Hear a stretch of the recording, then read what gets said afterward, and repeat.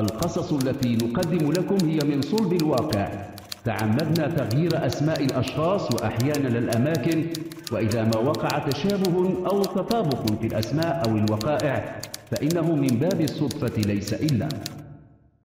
تمكن أبو غالب بن حميدان كما عدة مئات من المغاربة من الحصول على عقدة للعمل في جبل طارق. الصخرة التي تطالب بها إسبانيا تحت الحكم البريطاني منذ قرون. في تلك الفترة كان التوتر بين إسبانيا التي كانت تحت حكم الجنرال فرانكو وبريطانيا قد بلغ مداه. ذاك شأن لا يعني بوغالب في شيء. ما يهمه أن يحصل على أجرته منتصف الشهر وآخرة. يسميها العمال الكنزة كان بوغالب كما عمال كثيرون ينحدر من شمال المغرب ولد وترعرع في القصر الكبير. إلمامه بالإسبانية كانت له قوة الحسم في ظفره بعقدة العمل في جبل طارق. زمنها كان الأجر يغري ولم يكن أي من أولئك العمال يطمح إلى استخدام الزوجة أو الأولاد إلى الصخرة. قوانين السلطات البريطانية هناك صارمة. بل إن المجال لم يكن يتيح إمكانية حقيقية لاستقرار أولئك المهاجرين برفقة عائلاتهم. يعتبر بغالب نفسه محظوظا. لم يكن يقولها صراحة ولكن رفقة المبنى حيث يكتري سريرا كانوا يقولونها بنبرة لا تخلو في بعض الأحيان من نظرة حاسدة. فقد كان يعمل بستانيا في ثكنة للجيش في أعلى الجبل. الذين يجيدون الحساب يهمس بعضهم لبعض بأن أبو غالب بما أنه يأكل من مطبخ الجيش البريطاني وأحيانا يمنح لباسا وأحذية فإنه يستطيع أن يوفر من كنزته مبالغ محترمة. كذلك كانوا يظنون. وكذلك نشأت في ذلك المبنى تنافرات ترفض أن تبوح باسمها وحسد وغيرة. لعله ضيق المكان. كان المعبر معبر لالينيا المفضي إلى إسبانيا مغلقا. كانت الرحلات البحرية السريعة من جبل طارق إلى طنجة في الاتجاهين متوفرة بشكل يومي. وعدة أيام في الأسبوع كانت تتوفر رحلات جوية من الصخرة إلى مطار بخالف كذلك كان اسم مطار طنجة في تلك الحقبة. الجار المباشر لبغالب في ذلك المبنى الموروث عن الجيش البريطاني وحيث تصطف الأسرة شاب من طنجة اسمه البشير بوطلعة. وقد وجد عملا في ورشة للنجارة الخشبية. كان مساعد نجار وكان يستفيد بانتظام من عطلة أسبوعية تبدأ منتصف نهار السبت وتستمر حتى مساء الأحد. وغالبا ما كان يمضي نهايات الأسبوع تلك في ورشة صديق له نجار من سكان جبل طارق يدعى خيمي حيث يعملان لحسابهما الخاص يصلحان الأثاث ويصنعانه بأثمنة لا تطالها منافسة. كانا معا يشتغلان في معمل النجارة الكبير الذي كان يصدر ما ينتجه إلى جهات مختلفة في بريطانيا. وكذلك استطاع البشير أن يجمع مبلغا من المال محترما. كانت أمه تلح عليه في الزواج وكان يتهرب بإصرار وحين كان الضغط يشتد عليه كان يغيب عن طنجة شهورا طويلة. أعجب أبو غالب بالشاب الطنجاوي. فعمد بدوره إلى الاشتغال لحسابه الخاص أيام عطل نهاية الأسبوع. وكانت في لائحة زبائنه امرأة شابة جبل طارقية. لعلها كانت في مستهل العقد الخامس من العمر وكانت لديها في سكنها حديقة صغيرة ملئت نباتات مزهرة من أصناف شتى. لما تعودت على مجيئه صارت تأنس إليه وتقترب. حين كان يشذب تلك النباتات ويرتبها ترتيبا بديعا. صارت تأتيه بالقهوة إلى حيث كان يعمل ثم دعته مرة إلى الداخل. تطورت العلاقة بين أبو غالب وتيريسا كذلك اسمها إلى علاقة غرامية. ومع مرور الوقت لم يعد بوغالب يأتي إلى سريره. احتاجت تيريسا نجارا يصلح لها بعض الأثاث. ومع أن أبو غالب لم يقم علاقة تستحق أن توصف بالصداقة مع البشير فإنه جاء إليه يعرض عليه أن يقوم بتلك المهمة. لم يكن هناك ما يمنعه من الاستجابة. مضى مع أبو غالب إلى منزل تلك المرأة. كانت ذات قامة دون المتوسطة ولكنها كانت ذات وجه مليح. كلما ابتسمت ظهرت في فمها أسنان بيضاء لم يمسسها اعوجاج. استقبلت البشير بابتسامتها البديعة تلك وتقدمته إلى غرفة نومها. ظل أبو غالب خلفهما يتابع ما يجري. كان البشير كما أبو غالب يتقنان الإسبانية وكان ذلك ما يميزهما عن كثير من العمال. كانت السيدة تيريسا ترغب في تغليف مصطبة في عمق غرفة النوم بالخشب وفي جانب آخر من البيت في الصالون أرادت استحداث مكان تملأه زهورا ويكون بمثابة حديقة داخلية. لم تكن مهمة مستحيلة. سجل البشير المقاسات واتفق مع السيدة الجبل طارقية على أن يعود إليها بعد يومين ليقدم لها تقديراته لكلفة ما سيقوم به. كانت المرأة ذات غنى تشي تلك اللمسات الأرستقراطية التي تتبدى من سلوكها ومن خلال علاقاتها الاجتماعية في الصخرة. في النهاية ليس ذاك ما يهم البشير. ما يهمه أن يقوم بالعمل المطلوب وأن يحصل لقاءه على أجر معقول. وقد قرر أن يجتهد وأن يقدم للسيدة تيريسا نموذجين على الأقل مما يمكن تطبيقه في غرفة النوم والصالون. في اليوم الموعود وقبل أن يقصد بيت السيدة تيريسا حرص على إخطارها هاتفيا بالساعة التي سيحضر فيها إلى بيتها. لاحقا سيفهم أن تصرفه ذاك أعجب السيدة. قالت لصديقها أبو غالب إن الشاب البشير رجل لبق ويعرف كيف يتعامل مع الآخرين. لعل أبو غالب لم يعط كلامها كبير اهتمام. لم يكن في الأمر ما يدفع إلى تأويل أو تفسير. مرت عشرة أيام. احترم البشير الموعد الذي اتفق عليه مع السيدة تيريسا وجاء يحمل مكونات الديكور الذي سيضعه في غرفة النوم. كان قد اتفق على أن يبدأ بتغليف تلك المصطبة وإعطائها شكلا يجعلها تنسجم تماما مع أثاث الغرفة. ما كان لفت انتباهه منذ اليوم الأول أن تلك المصطبة التي يفوق ارتفاعها الثلاثين سنتيمترا عن مستوى أرضية الغرفة لم يكن يظهر لها من مبرر. ذاك شأن لا يعنيه. حرص البشير على أن يغلف واجهة تلك المصطبة بخشب الأرز المنقوش. استرسلت الأشكال ثمانية الأضلاع المتداخلة عبر صفحة خشب الواجهة مانحة الناظر إليه رحلة في خطوط وتداخلات لا تنتهي وتمضي في كل اتجاه تمضي فيه العين. الخشب الذي غطى الجانبين كان أملس. لما طلي بالبرنيز اكتسب لمعانا أضفى عليه المزيد من الجمال. في الصالون ركب البشير أضلاع صندوق خشبي كبير قارب طوله المترين وعرضه زاد قليلا عن المتر.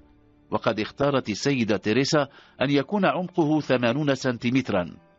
على واجهاته الداخلية ألصقت أوراق معدنية مقاومة للصدأ والتسربات. يعلم أن السيدة تيريسا ستأتي بعد أيام بتراب تزرعه أزهارا. هي قالت له ذلك. بنهاية ذلك اليوم وكان يوم أحد أنهى البشير الأشغال التي طلب منه القيام بها. طلبت منه ربة البيت أن يعود في اليوم التالي ليتسلم شيكا بالمبلغ المتفق عليه. لم ير في الأمر ما يدفعه إلى القلق السيدة أبانت عن جديتها. مساء الاثنين جاء البشير بطلعة إلى منزل السيدة تيريسا كما طلبت منه قرع الجرس انتظر بضع دقائق ثم قرعه من جديد ولكنه لم يتلقى جوابا. مضى إلى كشك للهاتف وركب رقم منزل السيدة تيريسا. لا أحد يرد. لما عاد مرة أخرى لاحظ على عتبة الباب بقايا تراب أسود. لم يكن في الأمر ما يثير الاستغراب. السيدة تيريسا استخدمت التراب لملء الصندوق الخشبي الذي ركبه في الصالون قبل أن تزرعه وردا. مر الوقت سريعا. لاحظ البشير أن أنوار منزل السيدة تيريسا ظلت مطفأة. قرر أن يذهب إلى حال سبيله على أن يعود في الغد بعد أن يتصل بها هاتفيا. تفطن البشير إلى أن أبو غالب نفسه غاب في ذلك اليوم ولكنه مضى يفكر في أشياء أخرى. آوى إلى سريره واسترخى ثم ما لبث أن نام. لما التحق في الصباح بمقر عمله في معمل النجارة جاء أحدهم من الإدارة يطلبه. قال له إن المدير يريد مقابلته. لم يخفي اندهاشه فلم يتعود أن يدعى إلى الإدارة التي لا يمر بها إلا لتسلم أجره نصف الشهري الكنزة حاول أن يجد في ذهنه ما قد يكون مبررا لتلك الدعوة. ولكنه لم يجد شيئا. قرر الاستجابة دون ما إبطاء فدلف إلى مكتب المدير. توجه البشير بطلعة إلى مكتب المدير. كان يوجد في الطابق العلوي لمعمل النجارة حيث يشتغل. وهو في الطريق انتابه إحساس غريب. لم يكن يذهب إلى مكاتب الإدارة سوى مرتين في الشهر ليقبض أجرته. مرة في وسط الشهر وثانية في آخره. كان يود لو تبقى ذكراه الوحيدة مع الإدارة.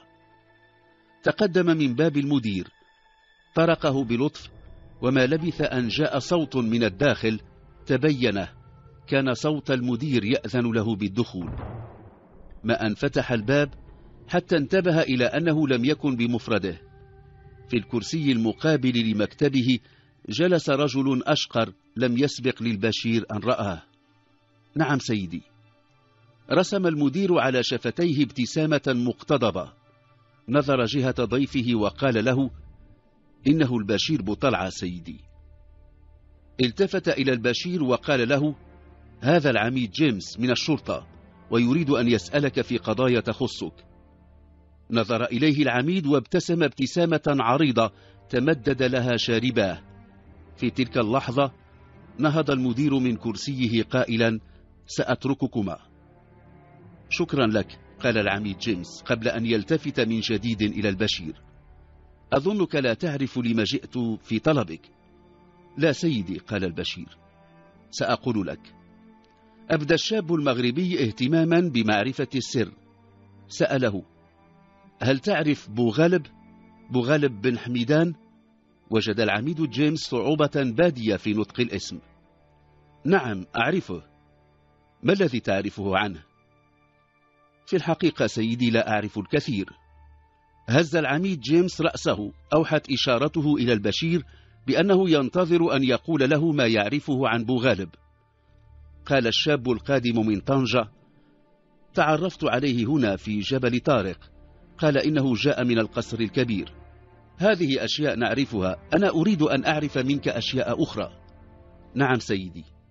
ابتلع البشير ريقه أحس بانقباض في حلقه ثم استأنف الحديث. كان سريره يجاور سريري ولكنه لم يأوي إليه منذ مدة الآن. صار رفيقا للسيدة تيريسا. هي سيدة محترمة ارتبط بها بعد أن كان يأتي إلى منزلها للاعتناء بحديقتها.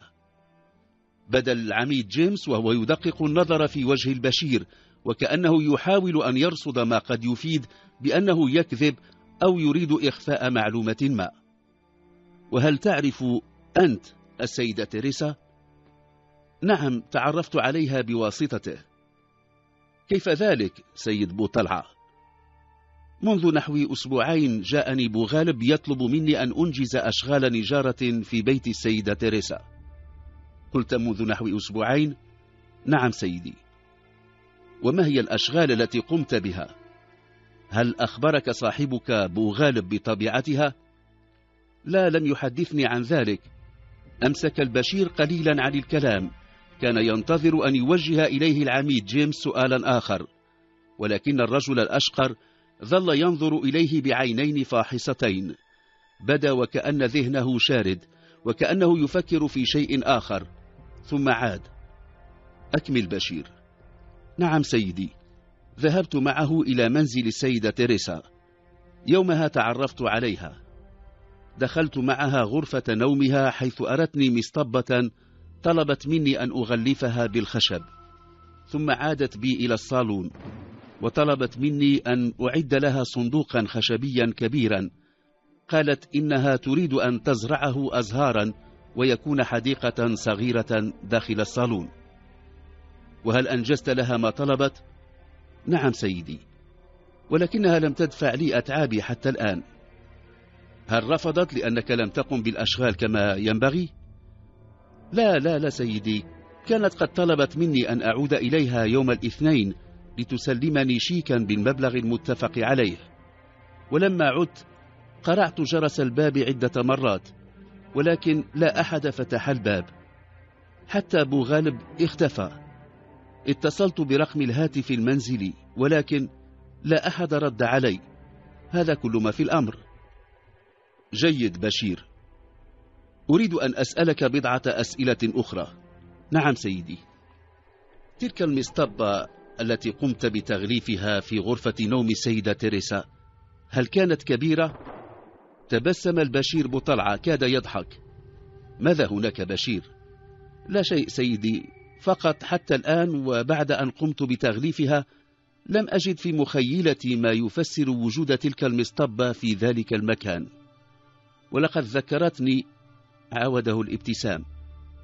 ذكرتني بالكيفية التي تبنى بها القبور عندنا. لم يتمالك نفسه وضحك. اعذرني سيدي. ابتسم العميد جيمس ابتسامته العريضة وتمدد لها شارباه مرة أخرى ثم قال لقد كانت قبرا. أحس البشير بالدم يجمد في عروقه. ابتلع ريقه امتقع لونه واصفر. نعم استأنف العميد جيمس. في المصطبة رفات رجل. أنا لم أكن أعرف ما تحت تلك المصطبة قال البشير. بدا لي أنها كانت هناك منذ زمن بعيد. في الحقيقة لم أسأل السيدة تيريسا التي كانت تكلمني بلطف. اكتفى العميد بابتسامة لم تحمل معنى محددا. ثم أضاف الصندوق الذي صنعته ووضع في الصالون ليكون حديقة في الداخل كما قلت وجدت به جثة أبو غالب. ذهل البشير. هل مات أبو غالب؟ نعم مات. أدمعت عين البشير بكى في صمت. نظر إليه العميد جيمس في صمت. ربت على كتفه وقال له إذا احتجنا إلى إفاداتك سنعود إليك. كانت في حلقه غصة. هز رأسه موافقا. خرج العميد جيمس وتبعه البشير. أمضى بقية يومه حزينا. كانت صداقته مع أبو غالب في بدايتها. استعرض أكثر من مرة شريط الاستجواب الذي أخضعه له العميد جيمس ولاحظ أنه لم يأتي على ذكر مآل السيدة تيريسا. مرت أربعة أيام. لم يعد العميد جيمس. خشي البشير أن يصير محل شكوك ولم يسأل عن جثة بوغالب قيل له إن الجثث تنقل إلى المشرحة لفحصها وتشريحها إن دعت الضرورة إلى ذلك لمعرفة أسباب الوفاة. صباح السبت جاء صديقه خيمي بصحيفة محلية في صفحاتها الداخلية تحت عنوان كبير جثث في منزل تيريسا. مقال تضمن الكثير من التفاصيل حول الذي حدث قبل أسبوع في ذلك المنزل الجميل. كان خيمي يقرأ المقال بصوت مرتفع. بدأت القصة عندما رست على مكتب رئيس الشرطة رسالة بعث بها مجهول وتزعم أن السيدة تيريسا رامون بيتر قتلت قبل عشرة أعوام زوجها مانويل رامون وإنها دفنت جثته في منزلها وادعت أنه مات غرقا ولم تظهر جثته. تردد رئيس الشرطة قبل أن يتحرك كانت إفادات بعض جيران تيريسا قد حملت ما يدل على أنها كانت تقوم بأشغال في داخل البيت يساعدها عشيقها الجديد بوغالب. وقد أسند التحقيق حول صدق ما في تلك الرسالة مجهولة المصدر إلى العميد جيمس مايور الذي اضطر إلى اقتحام المنزل بعدما طرق الباب عدة مرات. لحظتها يضيف المقال وقع على اكتشاف رهيب. من صندوق خشبي ملئ بتربة الحدائق كانت تطل أجزاء من جثة رجل ما لبث المحققون أن عرفوه. اسمه بوغالب بن حميدان الرفيق الجديد لسيدة تيريسا التي لم يعثر لها على أثر في المنزل. وقد ظن المحققون أن الرسالة المجهولة قد تكون صادقة فيما حملته من أن البيت يأوي رفات مانويل رامون زوجها الذي ورثت عنه ذاك المنزل الجميل. وقد قادت أعمال التفتيش المحققين إلى مصطبة في غرفة نوم تيريزا ما لبثوا أن اكتشفوا أنها قبر آوى رفات الهالك مانويل.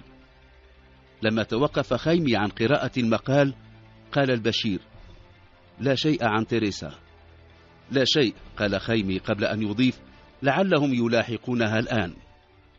شهرين بعد تلك الاكتشافات الرهيبة عثر على تيريسا جثة هامدة. صعدت أعلى الجبل وشنقت نفسها بحبل متين ربطته إلى شجرة. في جيب معطفها تركت رسالة بضع كلمات. قتلت بوغالب كما قتلت مانويل من قبله. عيناه صارتا تنظران إلى أخريات. السم الذي قتلت به مانويل جرعت منه بوغالب صاحب الأزهار الجميلة.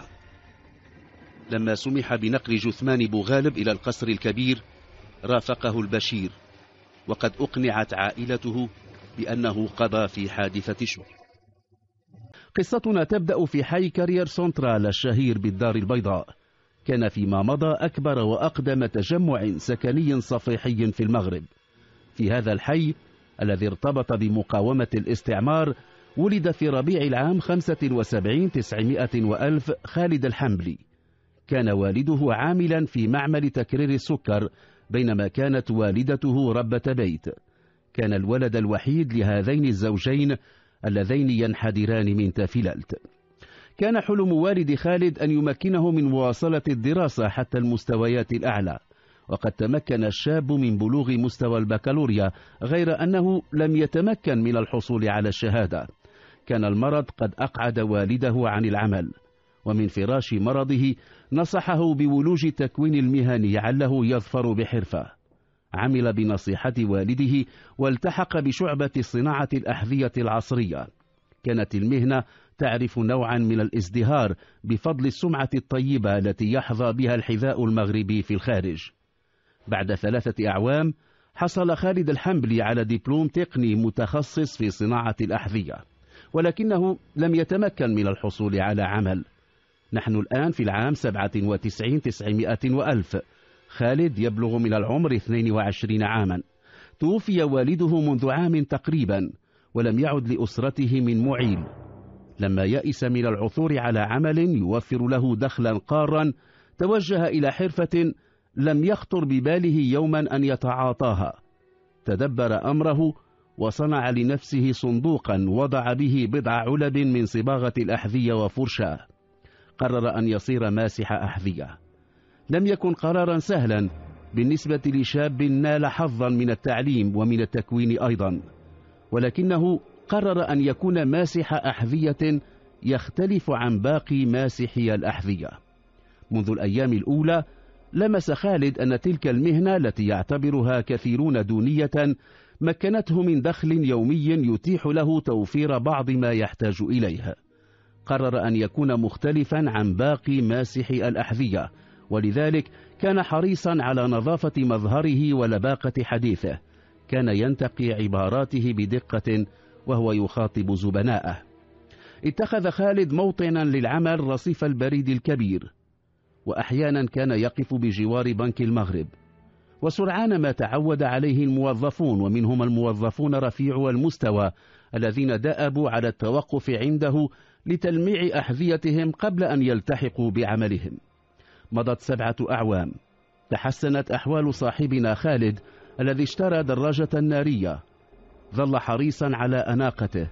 وقد تعود باعة الصحف وأيضا عمال النظافة على رؤيته وهو يصل إلى جوار البريد الكبير أو بنك المغرب. اشترى هاتفا نقالا مجهزا بآلة تصوير. وكان في أوقات الفراغ حين يكون في انتظار وصول الزبناء يزاول ما بدا هواية كانت كامنة بداخله. كان يعشق التصوير. كان يحب تصوير السيارات الفخمة. ثم صار موضوعه تصوير الأحذية. ثم صار يصور الوجوه التي تعبر من أمامه. وجوه في زحمة شارع الدار البيضاء وأخرى تأتي من أنحاء المغرب كافة. مع مرور الوقت صار لديه كم هائل من الصور. الذين يعبرون من أمام البريد المركزي في الدار البيضاء أو من الرصيف المحاذي لبنك المغرب لم يكن لهم أن ينتبهوا إلى ما كان يقوم به ماسح الأحذية. ذات مرة لاحظ توقف سيارة فارهة سوداء اللون ألمانية الصنع أمام بنك المغرب.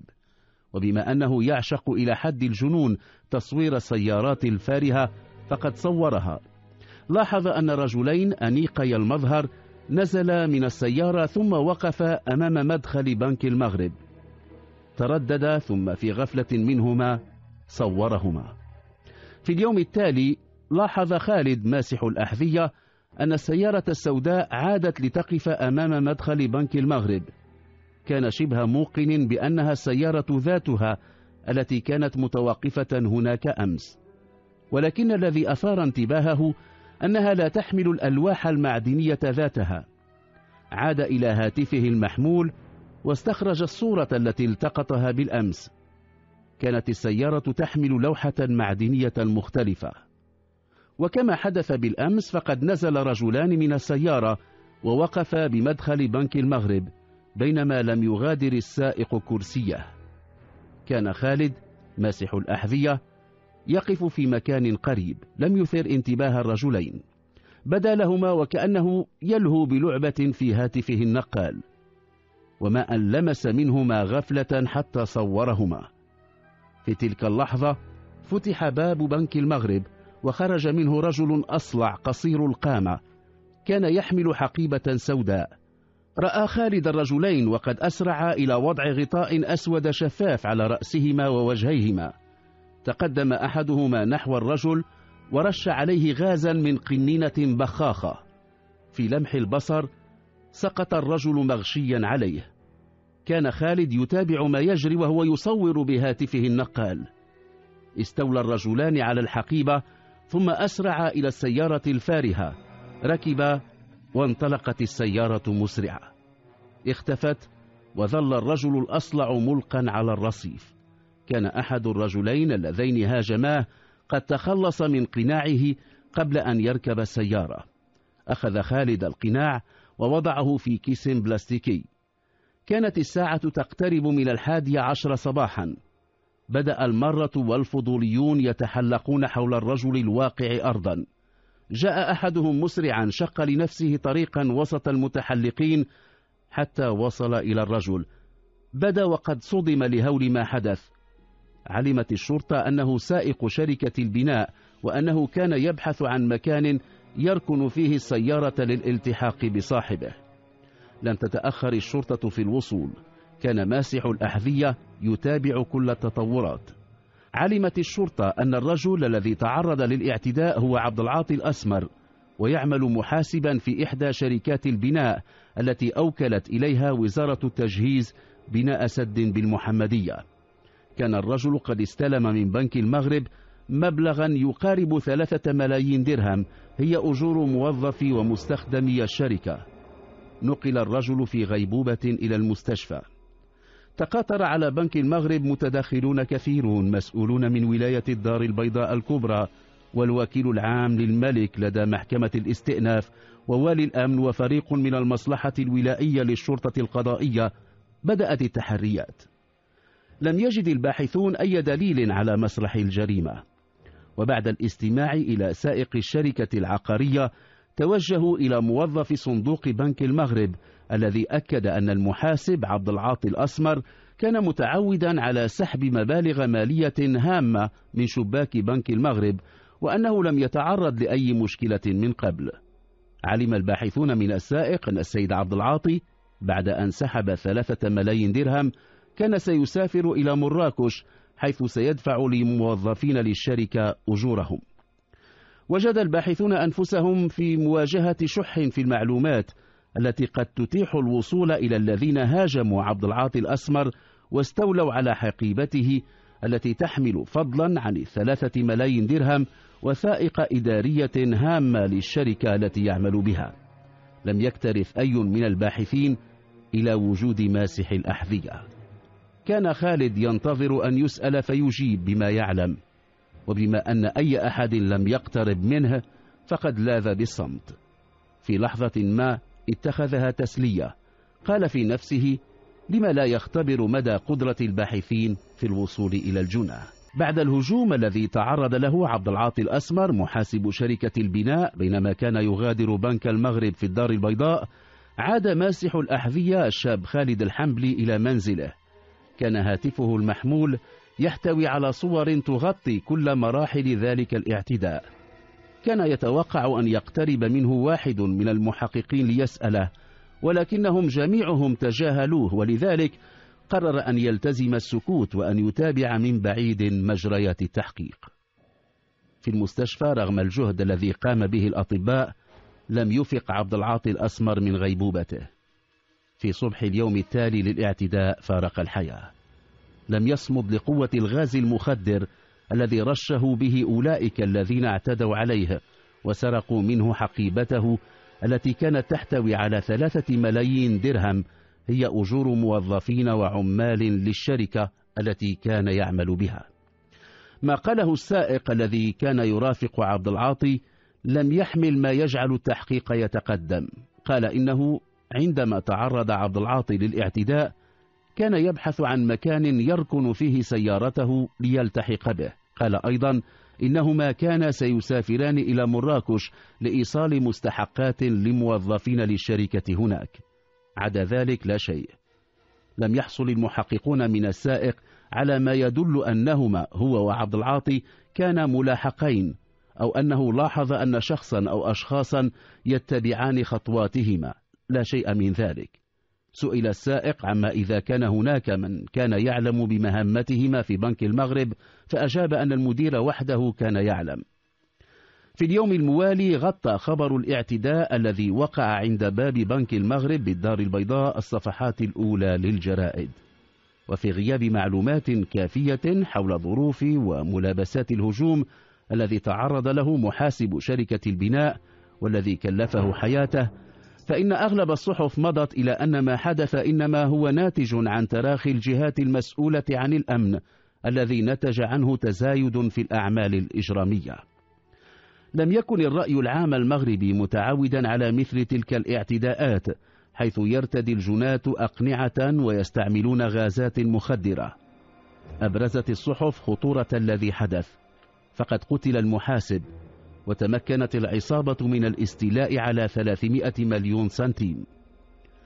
وضعت التغطية الإعلامية المكثفة لذلك الاعتداء القائمين على الأمن في الدار البيضاء تحت ضغط شديد قلما تعرضوا له. شركة البناء التي كان يعمل بها عبد العاطي الأسمر سعت إلى المساهمة في البحث وقد خصصت مكافأة مالية قيمتها مليون درهم لكل من قدم معلومات تتيح الوصول إلى المعتدين. كانت المكافأة تساوي ثلث المبلغ المالي الذي سطى عليه اللصوص. كان خالد الحنبلي ماسح الأحذية قد تأثر لوفاة المحاسب عبد العاطي. اتصل هاتفيا بإدارة الشركة وأبلغها أنه يتوفر على ما يقود إلى المجرمين. ولكنه اشترط أن يحصل على التزام رسمي مكتوب من الشركة بدفع المكافأة فور إدلائه بتلك المعلومات كما اشترط أن يكشف ما لديه أمام الجهات المختصة. كان الموعد الصبح في الساعة العاشرة طرق خالد باب مكتب العميد محمد الجبوري رئيس المصلحة الولائية للشرطة القضائية.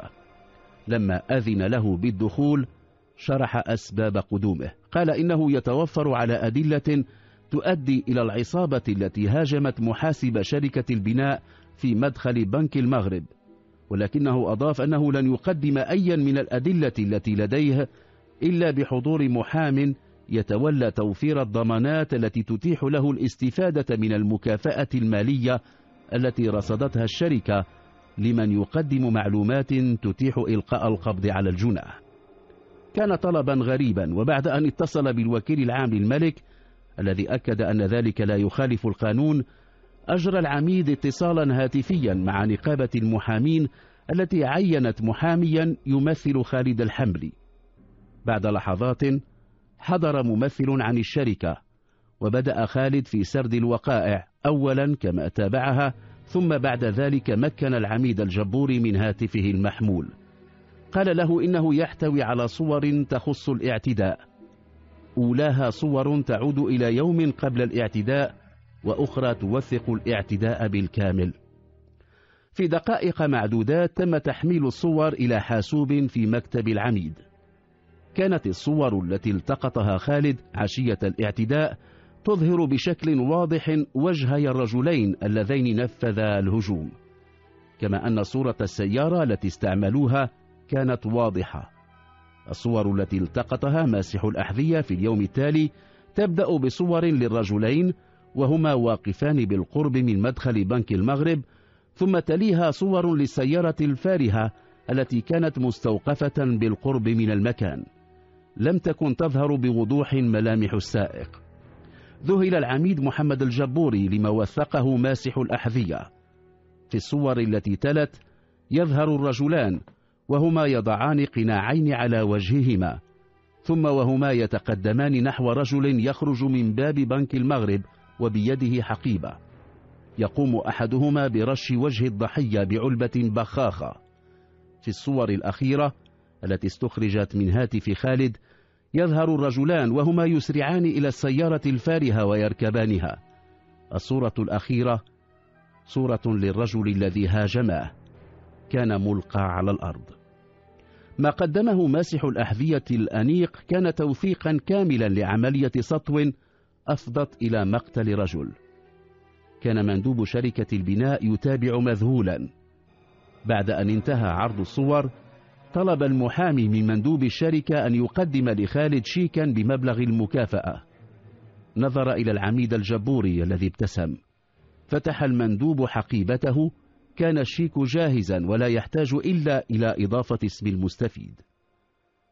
مكنت الصور التي التقطها خالد للسيارة التي استعملها الجنات في اليوم الأول من تعقب أثرهم فقد أتاح رقم تسجيلها الوصول إلى مالكها وكان رجل أعمال تقدم به العمر فاتخذ سائقا. كان السائق من تزعم العصابة لم يكن خالد قد استطاع أن يلتقط له صورة واضحة. كان هو الشخص الذي ظل ينتظر الرجلين في السيارة. من خلال اعترافاته علم المحققون أن أحد الاثنين كان مهاجرا غير قانوني في إيطاليا وهو الذي وفر قنينة الغاز المخدر. كما علموا أن الشخص الثاني الذي نفذ الهجوم سبق له أن عمل بشركة البناء وكان يعلم مواقيت قيام المحاسب عبد العاطي الأسمر بسحب المبالغ التي تصرف كأجور للعمال. في بضعة أيام ألقي القبض على الثلاثة. ظل راسخا بذهن العميد محمد الجبوري ذلك الكم الهائل من الصور التي التقطها ماسح الأحذية بواسطة هاتفه النقال. عقد العميد مؤتمرا صحفيا لتنوير الرأي العام حول مآل التحقيق حول واحدة من الجرائم الكبرى التي عرفتها الدار البيضاء. وفي سياق العرض الذي قدمه أشار إلى الدور الحاسم الذي لعبه ماسح الأحذية خالد الحنبلي. كان الشاب جالسا في أقصى المنصة. لم يتوقع أن يمطره الصحفيون بالأسئلة. أغلبها حول سر جمعه كل تلك الصور التي تمثل وجوها وأقداما من الدار البيضاء. قال خالد إن حلمه أن ينظم معرضا لكل تلك الصور. قال إنه اختار مقدما عنوانا لذلك المعرض. الدار البيضاء بعيني ماسح أحذية. كان بين الحضور صاحب قاعة للعرض. بعد أيام رن هاتف ماسح الأحذية. كان بجوار البريد الكبير. أبلغه الرجل بأنه على استعداد لاحتضان المعرض.